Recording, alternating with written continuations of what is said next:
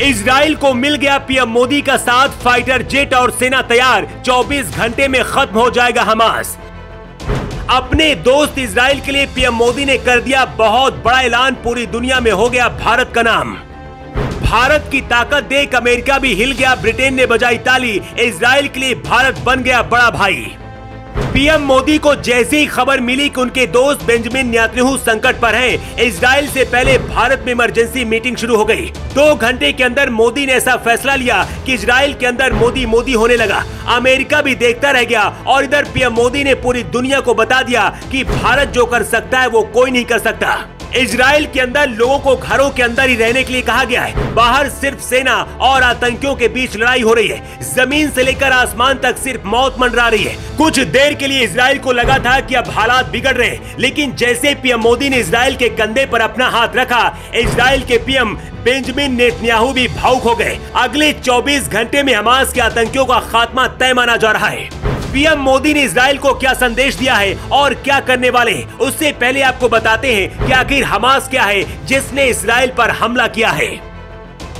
Israel से दुश्मनी मोल लेने वाला हमास फिलिस्तीन का एक इस्लामिक चरमपंथी संगठन है। साल उन्नीस सौ सतासी के जन आंदोलन के बाद शेख अहमद यासीन ने इस संगठन की नींव रखी थी।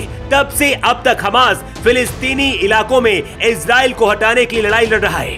गांजा पट्टी से ऑपरेट होने वाला हमास इसराइल को देश के तौर पर मान्यता नहीं देता है और इस पूरे इलाके में एक इस्लामिक राष्ट्र की स्थापना करना चाहता है। इसराइल को पता था कि दुनिया जब साथ छोड़ देगी, उस वक्त भारत उसका साथ ज़रूर देगा।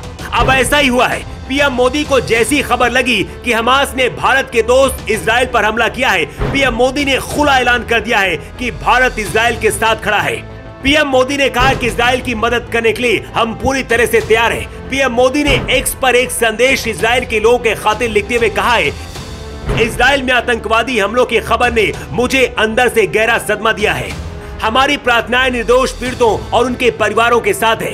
मोदी ने ऐलान करते हुए कहा है कि हम कठिन समय में इसराइल के साथ एकजुटता के साथ खड़े हैं। सूत्रों के हवाले से खबर है कि पीएम मोदी और इसराइल के पीएम बेंजामिन नेतन्याहू के बीच फ़ोन पर बातचीत भी हुई है। इस दौरान पीएम मोदी ने भरोसा दिया है कि दुनिया कुछ भी कर ले, लेकिन भारत अपने दोस्तों का साथ कभी नहीं छोड़ता है। पीएम मोदी की ऐलान को सुनकर अमेरिका भी हैरान रह गया है। अमेरिका को लग रहा था कि इसराइल उससे मदद मांगेगा, लेकिन भारत ने पूरा खेल ही पलट दिया है। पीएम मोदी के ऐलान के बाद ब्रिटेन भी इसराइल के साथ खड़ा हो गया है। इसराइल और हमास के बीच युद्ध शुरू होने के बाद ब्रिटेन के पीएम ऋषि सुनक ने कहा है कि इसराइल के ऊपर हमास आतंकवादियों ने हमला किया है। मैं इससे हैरान हूँ। इसराइल को अपनी रक्षा करने का पूरा अधिकार है। हम इजरायली अधिकारियों के संपर्क में हैं।